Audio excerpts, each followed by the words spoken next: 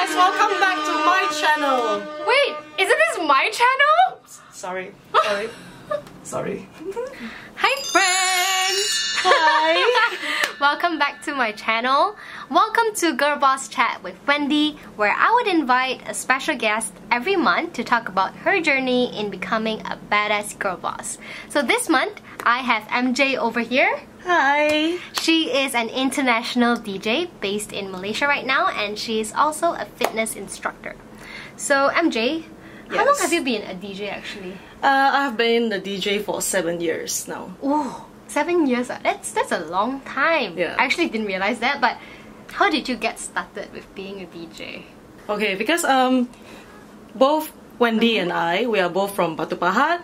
It's a small town in Johor where Yes. There's nothing much happening there. Yes. It's quite boring. And then I first came to KL when I was 18 years old to study mm-hmm. my A levels. And then when I first came to KL, I was so fascinated by the nightlife in KL. Oh yeah. And then I started Yes. going out every day and party like there's no tomorrow.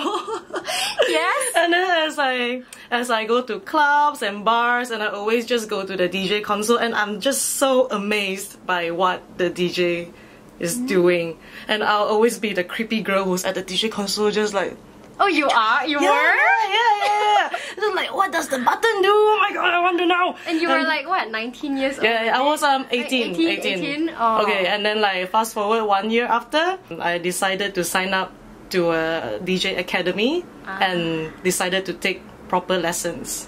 Uh, so you signed up when you were still doing A levels. Um, that at that point, I already passed my A levels and I was doing my first year degree In. in law. Yes, I was studying Yes. law. I wanted to be a lawyer. Yes. so you were doing law school and Yeah. you went to the DJ academy. Yes, yes. And at that time, I didn't have a lot of money, and I was doing like freelance modeling. Yeah, yeah. I was doing remember like a lot of photo shoots. face. Yeah. yeah, and I earned some money here and there. But Yeah. I was really determined to like save up money to pay for my DJ course. So like you knew then that you wanted to be. Actually, no. I learned just as a hobby, and Mm-hmm. I really didn't intend to like make back the money that I spent on the course. It's really just for like out of curiosity, and Okay. yeah, as a hobby. So you just quit law school. Um, I tried. I tried. Yeah. I really tried. Okay. So, law wasn't my interest. My family made me study law. Mm-hmm. Okay, and then uh, I still remember my first year, my exam. The Uh-huh. night before my exam, I actually went for a gig. Also, I went you, you had a gig then when you were. Yeah, yeah, yeah. But it, it was a pretty shit gig. Like I didn't get paid that much, but I rather I still rather go for the gig than But still, like you got started then, and you went for a gig the day before your Mm. my exam, and then I failed my exam terribly. Of course you did. it makes sense. It only makes sense. And then after after that, I've got my exam for my contract law. I got ten out of hundred. It was so bad. and then that's when I decided, okay, I cannot be a lawyer. oh, okay. So like when you got started, like you like when you quit law school, you didn't know exactly that like DJ is gonna be full time, but you just Mm, knew that law school was not for you. yeah, I knew that law school is not for me, Mm-hmm. but I didn't think that DJ. I didn't think that I'm still going to be a DJ like until today. Okay, Yeah. so how was I guess how did you get to where you are today? How was the journey like for you? Of course, when you first start, Mm-hmm. you wouldn't be the star of the night. Your name wouldn't be in the flyer. You wouldn't have you wouldn't have a flyer saying like, "Oh, Melissa Jo is playing tonight." You'll just be like the warm up or closing DJ, Mm-hmm. and then slowly you get more and more famous, and then you will be the highlight, the star of the night. So you're quite famous on social media right now. I would say your numbers are quite big if, if we look at just numbers. Mm-hmm. Um, back in the days, was social media already there? Uh, it was, but I think back then Facebook was the main thing rather than Instagram. Okay, and But- how mm. how has social media played a role in your career today? I see social media as a platform Okay. to share your work. For example, you just made a mixtape. Instead of just telling everyone, hey, hey, hey, I made a mixtape, here's a CD, you know, we don't do that anymore. You just share, share it on social media. And, and then you can boost your post so that more people will listen to your mixtape. Social media also serve as a, like a testimonial for your work Okay. like say last night I had a really good gig. It was really really happening, and then I want to let people know about it. If I just say, hey, last time my gig was great, but Yeah. and then how? Uh, how how was it? And then I have my social media. See, was this was the video from last night. Okay. Mm. Yeah, people. So can it's like see that. Mm, and then when clients see that you post videos of your gigs and everything, and then they'll see, oh wow, this this person, this DJ can really like rock the party. I mean, she rocks the party and she promotes your event. Mm. Like I feel like Mm-hmm. they see that point too. Like, I can see that being like kind of like a portfolio Yes. for for your.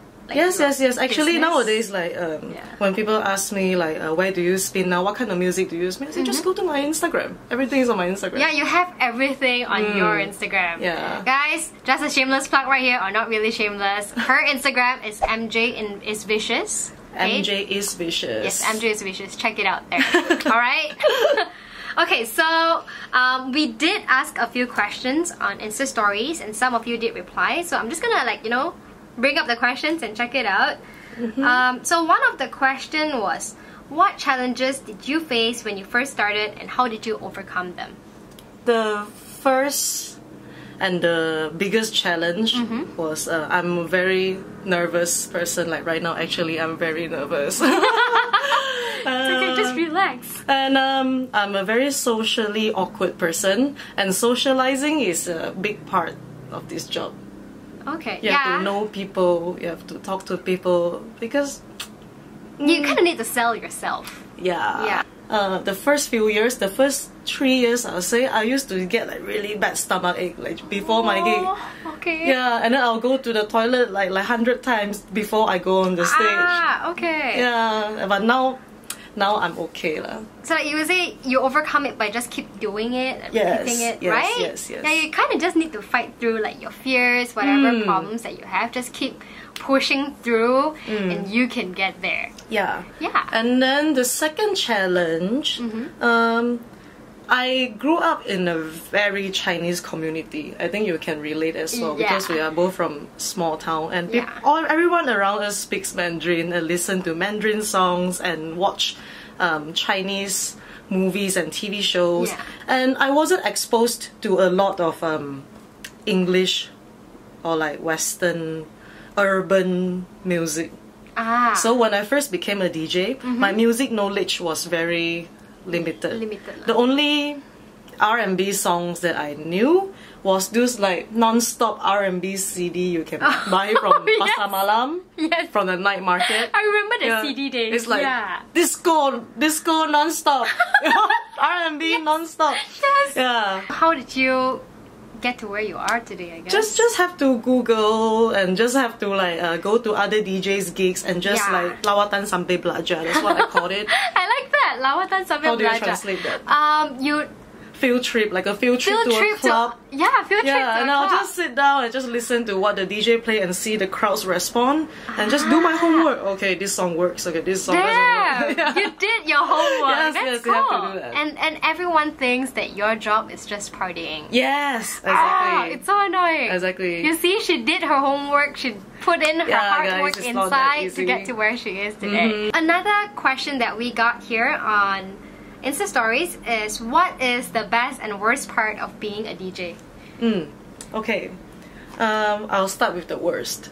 okay. Yeah. And I'll go to the good one. Yeah, yeah, yeah. Okay, I think one of the worst is um, your family will always ask you when are you getting a real job because they don't think DJ is a real job. Like they don't take they don't take DJ seriously. Mm, and it's not just from uh, family and friends.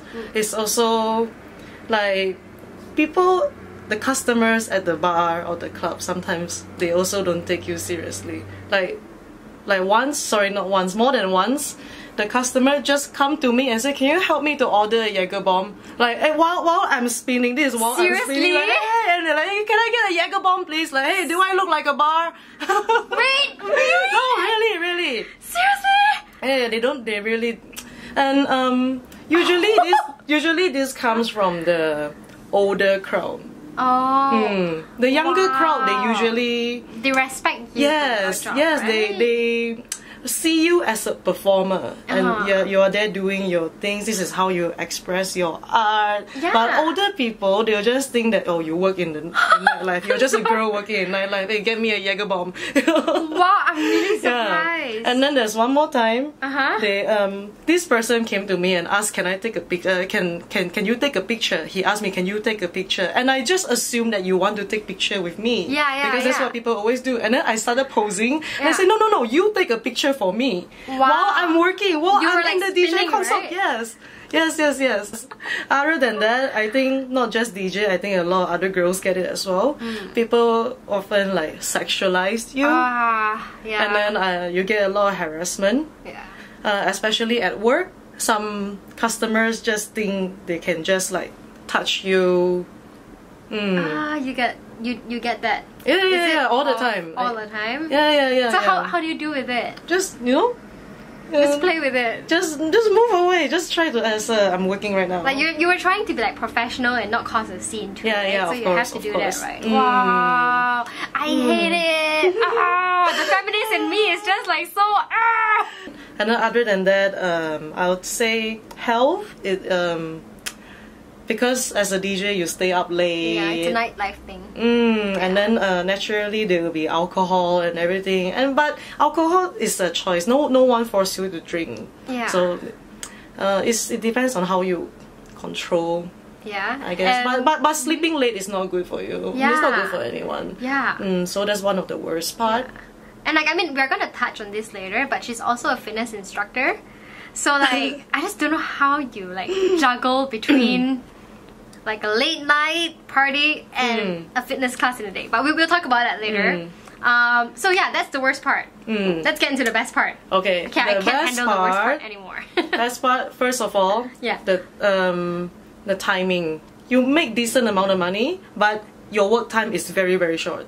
yeah. you only work mm, Yeah, maximum okay if you are a new dj Mm-hmm. then maybe you get uh, asked to play like a four to five hour set Mm-hmm. but then now i don't do that anymore now i'm just like oh i only i only want to play for two hours Mm-hmm. mm. so yeah the money is really good Mm-hmm. the time is really flexible i have lots of free time to do other things Mm-hmm. which like wendy just mentioned i'm now doing i'm now a fitness instructor Yeah. Mm. And other than that, you get to travel a lot. Mm.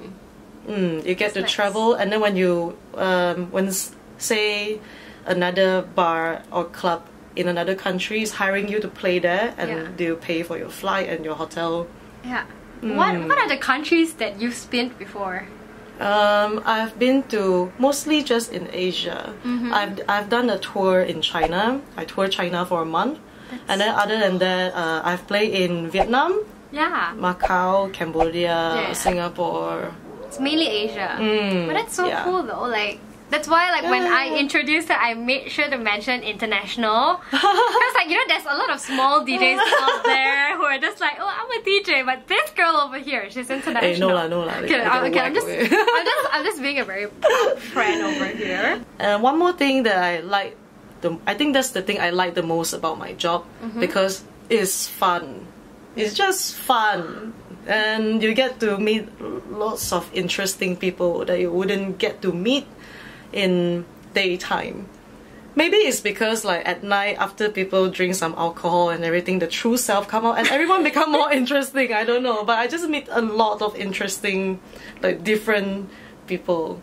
Yeah, your job is just creating like a fun Yeah, uns, yeah, yeah, time everyone Yeah, so like if you see my social media, a lot of people ask me like, "You're just having fun every day. Do you even work?" Yeah, that's my work.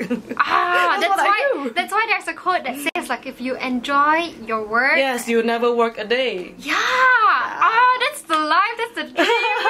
Yes. okay. yes. Yeah, I'm I'm quite happy to say that now I have like both my dream jobs. Yeah. Yeah, Both DJ. your dream jobs. Yes, DJ and, and Fitness like, instructor. Yeah, so fitness. so so yeah. Let's get into fitness instructor. Like Okay. so. How how do you juggle between being a fitness instructor and a DJ?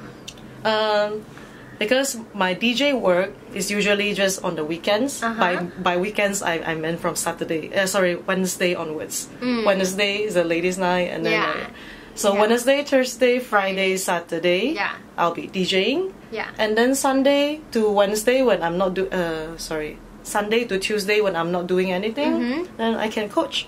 That's so cool. Mm. And like, but do you even get rest? Um, okay, on weekends, if I have to work in daytime and I have to work at night, I'll just take interval naps.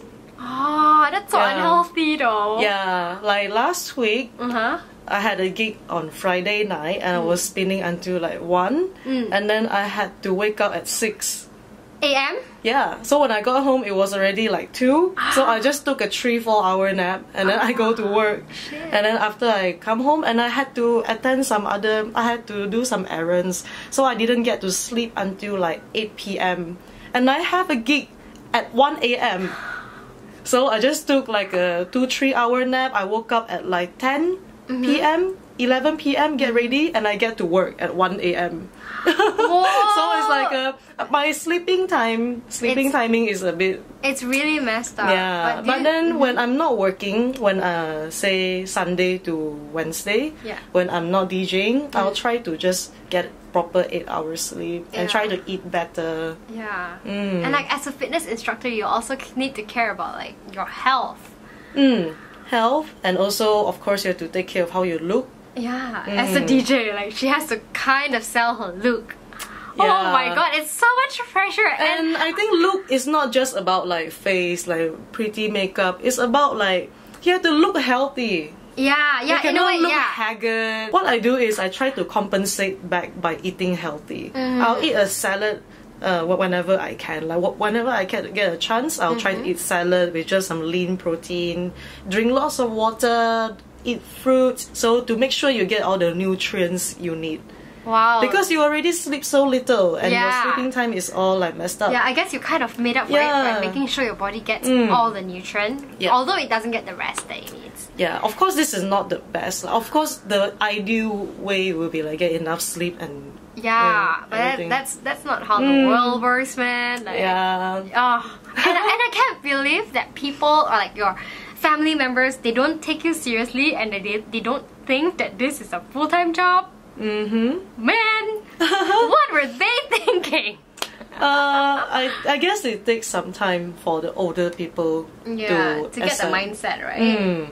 Finally, this year's Chinese New Year, finally Mm-hmm. they stopped asking me that. Finally, they stopped asking me when are you getting a real job. They finally accepted that. Okay, this is her job. One thing that I always hear is that there is an expiry date to a DJ's career. Mm. Um, are you concerned about that? What's what's your thought about it?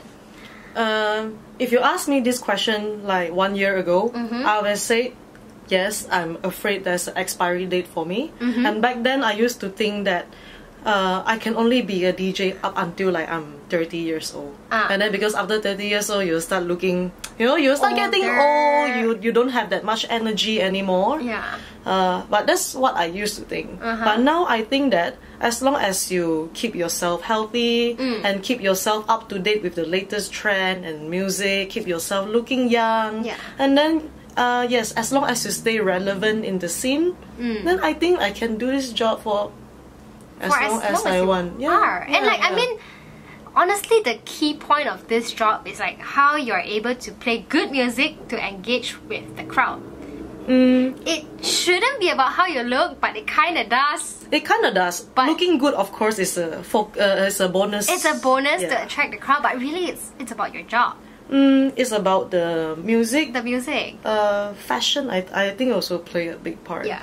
But music, uh, you have to keep up to the new music because people get old and Mm. eventually they stop partying, and then the new kids will start partying. Yeah. So the majority of the people in the bar or in the club are the young kids, Yeah. and you need to know what are the young people listening to. Yeah. So as long as you keep yourself up to date, uh, keep yourself uh, relevant, Yeah. and then I think I can do this job Yeah. as long as I want. I mean, so there's no really expiry date. Yeah, and I'm glad that you felt that way. Mm. Because I think remem- I remember like meeting you maybe like last year or last Mm. year. You were so stressed about what's Yeah. next for you. Mm. But I mean, the fact that you are comfortable now, it helps you to like just keep upping your game in DJing, Mm-hmm. which makes it even better for you because you're gonna keep growing and growing. Yeah, because back then there was this um, female DJ craze. Ah, You know, and then ah. suddenly everyone is a DJ and they always dress so sexy Ah. to play. Yeah. And then that's when um, looks really play a big role. Mm. Mm. And that's when I thought, oh my god, one day when I'm old, I cannot do this anymore Oh, because looks is everything. Yeah. But now I realize, where are those DJs now? They are not in the scene anymore. They're not relevant anymore. Yeah. And what about like fitness? Like, do you? I understand that you just recently got into fitness, like as an Mm. instructor. Do you think that's also gonna be like your long term career thingy?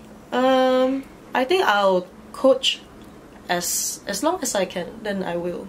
I like working out, and Mm-hmm. I like to make other people work out. Yeah, she forces me to work out sometimes. and that's like, eh. I mean, I work out, but she's Uh, too intense for me. She's a yoga person. yeah, I'm more of a namaste yoga person. And I'm like, "Ugh, one more, give me one more, come on. yeah, she, she's a really like a circuit hardcore kind of person. It's just not my kind of thing. Yeah. So I guess that kind of brings us to almost the end, but I have one last question for you, which is a question that everyone asks, but it's not really relevant to your job. It's how many tattoos do you have? Uh, I actually don't know. But how many? What's the number when you last counted it? I really don't know. Because it's very hard to count. Because like this sleeve, Yeah. it will be considered as one. One. Yeah. And then I have like a full leg sleeve sock, whatever Yeah. on my leg, and that's considered one. yeah, So it, which makes the number small, Mm. But she does have. Yeah, I think the more accurate way to ask is how many percent, how much percentage yeah, of your body is tattooed. tattooed. Yeah. And, and, what's the answer then? Um, what do you think? I don't know. Fifty. Uh, no, no, it's la. more than fifty. No. Yeah. 50%? 60? 60, 60 at least 60% of her yeah, body. Sorry, I really don't know how many tattoos I have. Yeah. Alright, so that brings us to the end of the interview. We hope we answered the questions that you have in your mind and you enjoyed this. Be sure mm -hmm. to mm-hmm. subscribe and turn on the notification bell if mm -hmm. you do mm-hmm. enjoy and follow MJ here on her Instagram because like we said, it's going to be really interesting for you to see. I will see you in my video next week. See ya. Bye. Bye. Be sure to check out these two videos. All right? Bye.